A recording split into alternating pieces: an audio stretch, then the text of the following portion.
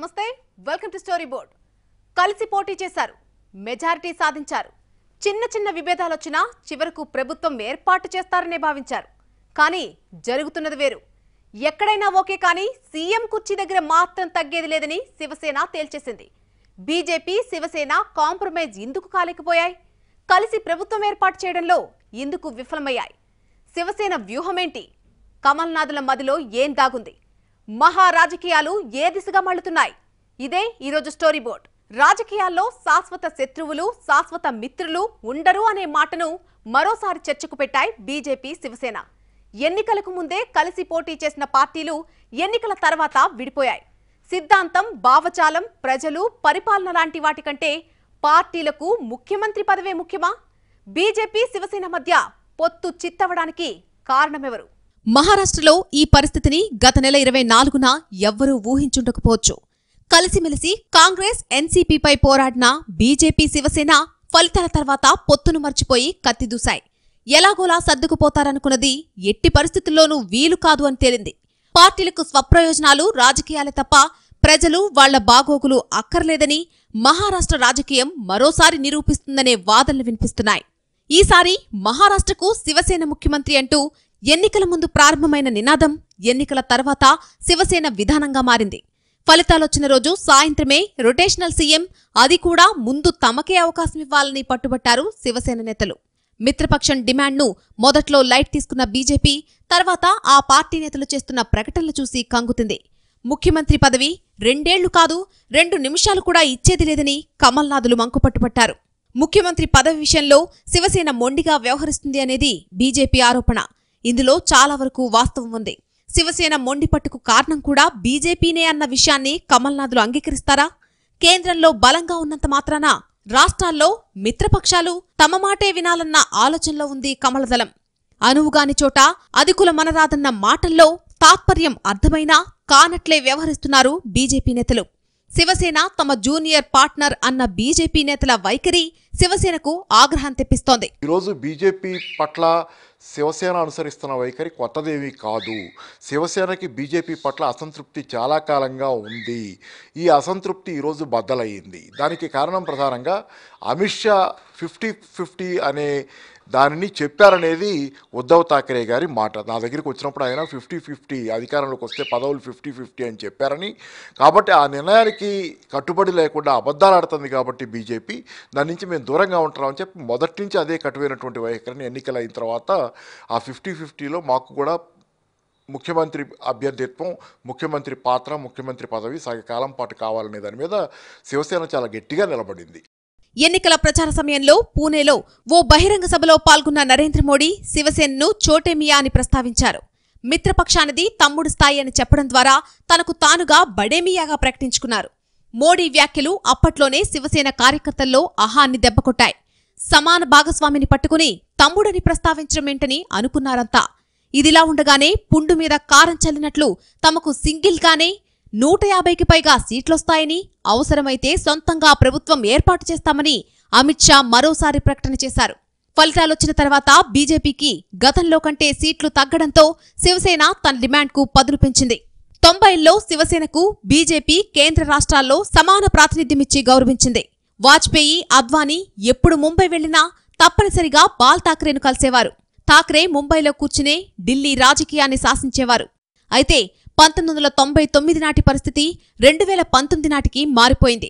ఇప్పుడు అమిత్ షా మోడీ సెకన్ నడుస్తోంది. ఎన్డీఏ కూటమిలో తమకు తగిన గౌరవం దక్కడం లేదని శివసేన ఎప్పటినుంచో అసహనం వ్యక్తం చేస్తోంది. గతంలో మోడీ ప్రభుత్వం నుంచి బయటకొచ్చి మోడీ నిర్ణయాలపై తీవ్ర స్థాయిలో విమర్శలు చేసింది. శివసేనలో అసంతృప్తి తగ్గించేందుకు బీజేపీ వైపు నుంచి ఎలాంటి ప్రయత్నాలు జరగలేదనే చెప్పాలి. శివసేన బీజేపీల మధ్య గత ఆరేళ్ళుగా కూడా ఒకవైపు లవ్ అండ్ హేట్ రిలేషన్షిప్ అంటారు. ఒకవైపు ప్రేమ ఒకవైపు దేశం నడుస్తుంది. కారణం ఏంటంటే మహారాష్ట్ర రాజకీయాల్లో చాలా కాలం శివసేనది ఆధిపత్యం ఉండేది. శివసేన బీజేపీ కూటమిలో శివసేనది ఆధిపత్యం ఉండేది. బీజేపీ జూనియర్ పార్ట్నర్గా ఉండేది. కానీ రెండు వేల పద్నాలుగులో మోడీ ఫినామిన్ తర్వాత బీజేపీ బలం పెరిగింది శివసేన బలం తగ్గింది. దా ముఖ్యంగా బాల్ ఠాక్రే అస్తమయము శివసేన విడి విడిపోవడము అందులోకెళ్ళి రాజ్ ఠాక్రే మహారాష్ట్ర నర నవనిర్మాణ సమితి పెట్టడము భారతీయ జనతా పార్టీ దేశవ్యాప్తంగా భారీగా పెరగడము నరేంద్ర మోడీ ప్రభావము ఇవన్నీ కలిసి వచ్చేవరకు ఏంటంటే శివసేన జూనియర్ పార్ట్నర్ అయింది బీజేపీ మే సీనియర్ పార్ట్నర్ అయింది. దీన్ని శివసేన అంగీకరించలేకపోతోంది. ఇప్పుడు ఒప్పుకుంటే బీజేపీని మరో ఐదేళ్ళ పాటు బీజేపీ ముఖ్యమంత్రి ఉంటే శివసేన మరింతగా బలహీనపడుతుంది. రాజకీయంగా ఉనికిని కోల్పోతాం అనే భయం శివసేనలో మొదలైంది. కొన్నేళ్ళుగా రెండు పార్టీల మధ్య నెలకొన్న వాతావరణం శివసేన అసంతృప్తి అన్నీ కలిసి ఈ ఎన్నికల తర్వాత బట్టబయలయ్యాయని చెప్పాలి. ఎన్ని మంత్రాంగాలు నడిపినా ఎంత ఒత్తిడి తెచ్చినా మహారాష్ట్రలో అమిత్ షా మోదీల వ్యూహాలు నడవ్వని తేల్చేసింది శివసేన. ఉంటే సీఎం పదవిలో లేదంటే లేదనే శివసేన మొండి వైఖరి ఏ దశలోనూ బీజేపీకి మింగుడు పడలేదనే చెప్పాలి. గత కొన్నేళ్ళుగా పలు రాష్ట్రాల్లో మెజార్టీతో సంబంధం లేకుండా చక్రం తిప్పి వ్యూహాలు అమలు చేసి ప్రభుత్వాలను ఏర్పాటు చేసిన బీజేపీకి చివరికి మిత్రపక్షం చేతిలో గట్టి దెబ్బే తగిలింది. వైరి పార్టీల కంటే గట్టిగా శివసేనే ఎదురు నిలిచింది. చివరికి తన అధికార పత్రిక సామ్నాలో కూడా బీజేపీని ఏకిపారేసింది శివసేన. ఇవన్నీ సీఎం కుర్చీ కోసం తానెంత పట్టుదలతో ఉన్నది స్పష్టం చేస్తూనే ఉన్నాయి. ఇదంతా గమనిస్తూనే రెండు వారాలు దాటినా బీజేపీ కూడా చోటేమియాకు ఇంత పట్టుదల అనే తీరుతోనే వ్యవహరించింది తప్ప మహారాష్ట్రలో తన ముందు ఎవరైనా తగ్గాల్సిందే అనే థాక్రే పట్టుదల అందిపుచ్చుకున్న శివసేన మొండితనాన్ని బీజేపీ ఏమాత్రం ఖాతరు చేయలేదు.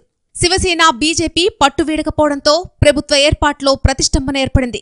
కానీ శనివారంతో అసెంబ్లీ పదవీకాలం ముగియడం ప్రభుత్వ ఏర్పాటుకు అతిపెద్ద పార్టీగా బీజేపీని గవర్నర్ ఆహ్వానించడమూ జరిగింది. తగ్గేది లేదని భావించిన బీజేపీ ప్రభుత్వాన్ని ఏర్పాటు చేయలేమని గవర్నర్తో స్పష్టం చేసింది.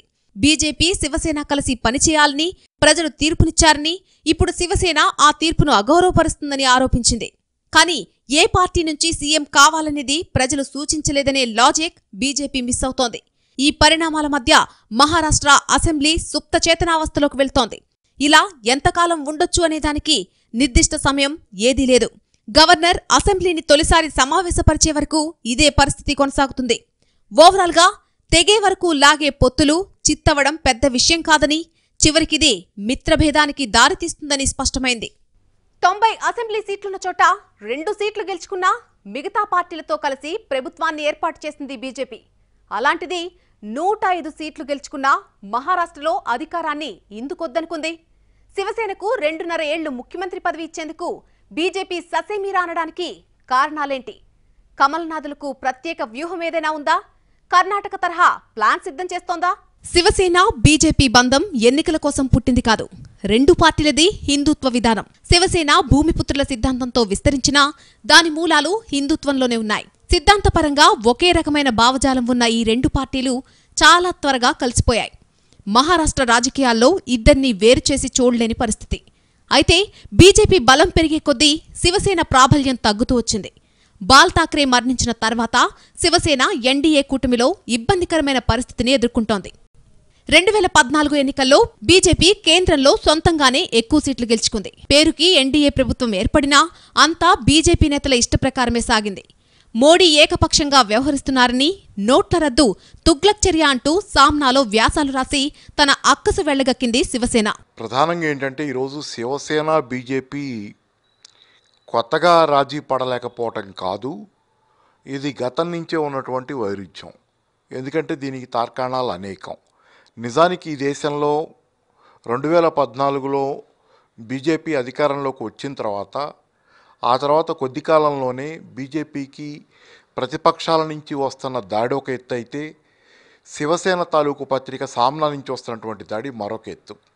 సామ్నా చాలా సందర్భాల్లో చాలా కటువుగా చాలా తీవ్రంగా మోడీని కానివ్వండి బీజేపీని కానివ్వండి విమర్శించి ఉంది అది ఎన్డీఏలో ఉన్నప్పటికీ బీజేపీ పక్కన. దానికి తార్కాణాలు అనేకం. ఎన్డీఏ నుంచి బయటకొచ్చిన తర్వాత మహారాష్ట్రలో సొంతంగా ఎదిగేందుకు ప్రయత్నించింది శివసేన. గుజరాత్లో బీజేపీపై కత్తిదూసిన పటేల్ రిజర్వేషన్ ఉద్యమ నాయకుడు హార్దిక్ పటేల్ను గుజరాత్ శివసేన చీఫ్గా ప్రమోట్ చేశారు ఉద్దవ్ థాక్రే. మహారాష్ట్రలో జరిగిన స్థానిక సంస్థల ఎన్నికల్లోనూ ఒంటరిగానే పోటీ చేసింది. బీజేపీతో పొత్తు పెట్టుకునేది లేదని స్పష్టం చేసింది. అయితే అమిత్ షా ముంబై వచ్చి ఉద్దవ్తో మాట్లాడడంతో పరిస్థితులు సర్దుకున్నాయి. పార్లమెంట్ అసెంబ్లీ ఎన్నికల్లో రెండు పార్టీలు కలిసి పోటీ చేశాయి. బీజేపీ అధినాయకత్వం తనకు అవసరమైనప్పుడు ముంబై వస్తుందని అదే తాము ఏదైనా అడిగితే స్పందించటం లేదని శివసేన అధ్యక్షుడు భావిస్తున్నారు. బీజేపీ అవసరాలకు తాము ఉపయోగపడుతున్నామే తప్ప ఒక భాగస్వామ్య పార్టీగా కమల్నాథులు తమను గుర్తించడం లేదనేది శివ సైనికుల ఆవేదన. తాజాగా ముఖ్యమంత్రి పదవి విషయంలో బీజేపీ వైఖరి మరోసారి బయటపడిందని శివసేన భావిస్తోంది. అందుకే తమకు ముఖ్యమంత్రి పదవి ఇవ్వకపోతే బీజేపీతో కలిసేది లేదని తెగేసి చెప్పింది. ఎన్డీఏ నుంచి బయటకొచ్చి కాంగ్రెస్ ఎన్సీపీలతో కలిసి ప్రభుత్వాన్ని ఏర్పాటు చేసేందుకు ప్రయత్నిస్తోంది. నిజానికి పంతొమ్మిది వందల తొంభై తొమ్మిది నుంచి రెండు వేల పద్నాలుగు వరకు సుదీర్ఘకాలం మహారాష్ట్రలో ప్రతిపక్షంలో ఉన్న శివసేన రెండు వేల పద్నాలుగు ఎన్నికల సమయంలోనే బీజేపీతో విభేదించింది. పంతొమ్మిది వందల తొంభైలో బీజేపీతో కలిసి అధికారం పంచుకున్న శివసేనలో రెండు దశాబ్దాల కాలంలో చాలా మార్పొచ్చింది. ముఖ్యంగా కమలం పార్టీ విషయంలో అనుసరించాల్సిన విధానంపై చాలా మార్పులొచ్చాయి. ఎన్నికల్లో పొత్తు మాత్రమే కాదు అధికారంలో కూడా సరైన భాగస్వామ్యం కావాలనే అభిప్రాయానికొచ్చింది. ఈ లక్ష్యంతోనే బీజేపీని పక్కన పెట్టి శివసేన ఒంటరిగానే బరిలోకి దిగి అరవై మూడు సీట్లు సాధించింది. అయితే నూట ఇరవై రెండు స్థానాలు మాత్రమే బీజేపీ గెలవడంతో మరో ఇరవై రెండు సభ్యుల మద్దతు అవసరమైంది. దీంతో శివసేన మద్దతుతో ఫడ్నవీస్ సర్కార్ ఏర్పాటైంది. కానీ ఈ ఎన్నికల పరిస్థితి వేరు. ఎన్నికల ముందే శివసేన తన మనసులో మాట బయటపెట్టేసింది. శివసేనకే సీఎం పదవి అనే మాటను మెల్లగా మొదలుపెట్టి నినాదం స్థాయికి తీసుకెళ్ళింది ఎన్నికల ఫలితాల తర్వాత బీజేపీ శివసేన మధ్య చర్చలు నడుస్తున్న సమయంలోనూ బాల్ ఠాక్రే మనవడు ఆదిత్య ఠాక్రే పేరు సీఎం పదవికి ప్రచారంలో పెట్టింది శివసేన. ఇలా సీఎం పదవి కోసం పట్టుబట్టడం శివసేనకు ఒక్కరోజులో వచ్చిన ఆలోచన మాత్రం కాదు. ఏళ్ళ తరబడి పల్లకి మోసే బోయిగానే మిగలటం. మిత్రపక్షంగా బీజేపీకి అండగా నిలబడ్డం తప్ప అధికారంలో ఎలాంటి ప్రాధాన్యం లేకపోవడం శివసేనలో అసంతృప్తి మిగిల్చింది. అందుకే దేశమంతా బీజేపీ మాయాజాలం అమిత్ షా వ్యూహాలు మోదీ కరిష్మా నడచుగాక. మహారాష్ట్రలో మాత్రం తన కనుసన్నల్లోనే రాజకీయాలు నడవాలి అనేది గట్టి నిర్ణయంలోకొచ్చింది శివసేన. అనుకున్నట్టుగానే రెండు వేల పంతొమ్మిది అసెంబ్లీ ఎన్నికల్లో శివసేన లేకుండా బీజేపీ ప్రభుత్వం ఏర్పాటు చేయలేని పరిస్థితిలోకొచ్చింది. ఓ దశలో సింగిల్ గానే బీజేపీ సర్కారు ఏర్పాటు చేస్తామని స్టేట్మెంట్ ఇచ్చి అమిత్ షా రెచ్చగొట్టినట్టయింది. అందుకే ఎన్నికల తర్వాత పట్టు సడలకుండా సీఎం కుర్చీ కోసం బిగుసుకుపోయింది శివసేన. బీజేపీ జాతీయ స్థాయిలో బలంగా ఉన్నా అధికారంలో ఉన్నప్పటికీ మహారాష్ట్రలో శివసేనను కాదని ప్రభుత్వాన్ని ఏర్పాటు చేసే పరిస్థితి మాత్రం లేదు. ఒక్క మాటలో చెప్పాలంటే శివసేన తన ప్రభుత్వంలోకి ఏ పార్టీని కావాలంటే ఆ పార్టీని తీసుకునే పరిస్థితిలో ఉంది. బీజేపీకి అలాంటి అవకాశం లేదు. దీంతో కలిసి పోటీ చేసిన బీజేపీ ఎంత అసహనం ప్రదర్శించినా శివసేన వెనక్కు తగ్గకుండా తన వ్యూహాలను అమలు చేసింది. నిజానికి ఏ పార్టీ అయినా విపక్షంలో ఉండడానికి అధికారంలో ఉండడానికి చాలా తేడా ఉంది. అధికారంలో ఉన్న పార్టీ కేడర్ బలపడుతుంది. అభివృద్ధి కార్యక్రమాల్లో పాత్ర ఉంటుంది. ప్రజల్లోకి చొచ్చుకుపోవడానికి అవకాశం ఉంటుంది. అదే బీజేపీ ప్రభుత్వంలో శివసేన సర్దుకుపోతే జరిగే మంచి చెడు వచ్చే క్రెడిట్ అంతా కమలం పార్టీ అకౌంట్లోకే పోతుంది. ఇప్పటికే చోటేమియా అని తనను నాలుగు మెట్లు కింద నిలబెట్టిన బీజేపీని ఇలాగే వదిలేస్తే తన ఇలాకాలో తన్ను దాటి దూసుకుపోతుందన్న భావనలో శివసేన ఉందని చెప్పాలి. ఒకప్పుడు బీజేపీతో సమాన హోదా అనుభవించిన శివసేన ఇప్పుడు ఎక్కువ స్థానాలు గెలుచుకున్న బీజేపీకి ఓ అనుచరుడి హోదాకి పడిపోయింది. ఇక బాల్ ఠాక్రే పేరు చెప్తే శివసేన మాత్రమే కాదు బీజేపీకి కూడా ముచ్చెమటలు పట్టేవి. కానీ ఆయన తర్వాత ఉద్ధవ్ ఠాక్రేకి అంతటి హవా లేనప్పటికీ పటిష్టంగా ఉన్న పార్టీ పునాదుల కారణంగా శివసేన నెట్టుకొచ్చింది.